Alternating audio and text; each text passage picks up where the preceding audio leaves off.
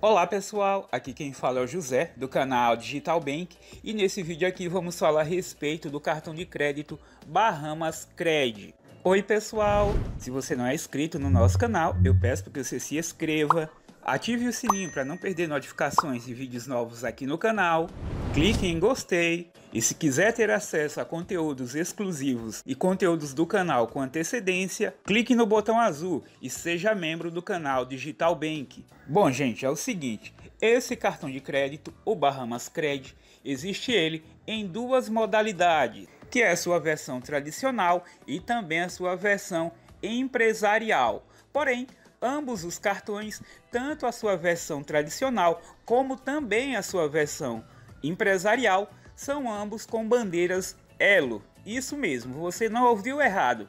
Ambos os cartões são pela bandeira Elo. São aceitos em mais de 10 milhões de estabelecimentos em todo o Brasil. Esses dois cartões, eles não são isentos de anuidade. Você vai pagar anuidade por eles sim, com um diferencial que mesmo você pagando a anuidade desses cartões, você só vai pagar a anuidade desses cartões no mês que você utilizar. Nos meses que você não utilizar, tanto o tradicional como o empresarial, você não vai pagar nada mais por isso. E o valor da anuidade do cartão tradicional da Bahamas Credit é de R$ 9,80.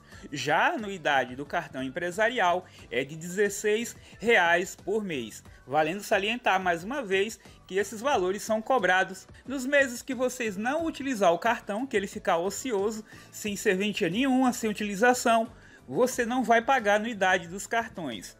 Outro ponto a ser observado nesse cartão Bahamas Cred é o seguinte, ao clicar nos links que constam aqui no site do Bahamas Cred, que fala que você clique para solicitar o seu cartão, ao clicar você é redirecionado. Bom gente, deixarei aqui um pouco da minha opinião a respeito desse cartão e o que eu acho a respeito de mais esse produto aí disponível no mercado para tantas pessoas que desejam ter o seu cartão de crédito ou mais um cartão de crédito ou até mesmo o primeiro cartão de crédito.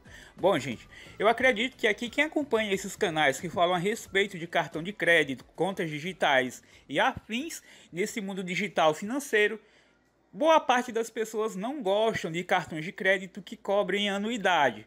Porém, eu vejo pessoas que têm dificuldade para conseguir o seu primeiro cartão de crédito.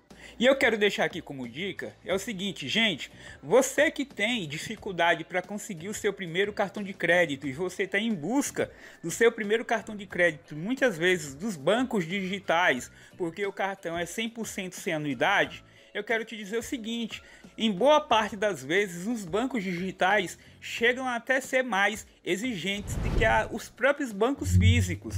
Então, pensando nisso, o ideal é que, por mais que você venha pagar a anuidade de um cartão de crédito desse, você pode utilizar ele como porta de entrada para você conseguir outros cartões de crédito, inclusive cartões de crédito sem anuidade de bancos digitais. Mas para todo início tem que ter um começo.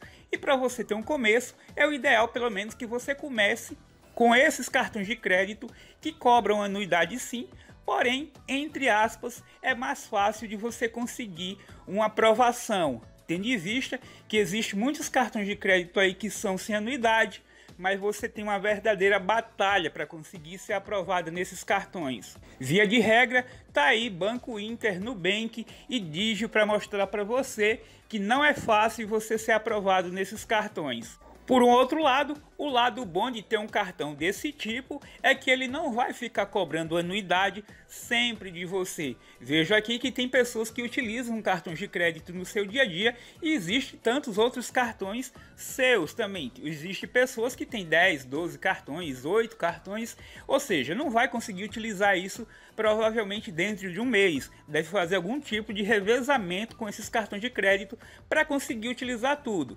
E um cartão como esse venha calhar para você, por quê? Porque os meses que você não utilizar, você não vai precisar se preocupar com o pagamento da anuidade desse cartão. Até porque mesmo ele só vai te cobrar no mês que você utilizar ele. Hoje mesmo teve uma inscrita aqui do nosso canal que estava perguntando a respeito do cartão Santander Free se ele cobrava nos meses em que você não utilizava. E sim, o cartão Santander Free, diferentemente desse daqui que eu acabei de falar. Se você não utilizar, ele vai te cobrar anuidade sim, que é de R$ 31,17. E se você também não atingir o valor total de 100 reais gastos em compras dentro do mês, ele vai te cobrar também. Ou seja, você só fica livre 100% de anuidade desses cartões que impõem limite de gasto nos meses se você utilizá-lo todos os meses. Bom pessoal, a notícia por hoje foi essa a respeito desse cartão, o Bahamas Cred, que é de bandeira Elo e tem anuidade sim, como eu já informei aqui no restante do vídeo. E se você tem interesse em solicitar esse cartão, você digita www.bahamascred.com.br e lá vai ter a opção para você estar tá solicitando esse cartão de crédito. E se você não é inscrito aqui do nosso canal, eu peço para que você se inscreva para que a nossa comunidade cresça mais, compartilhe esse vídeo para que mais pessoas conheçam aqui o nosso conteúdo Clique em gostei para mostrar para o YouTube que nossos vídeos têm relevância. Até uma próxima, pessoal. Falou!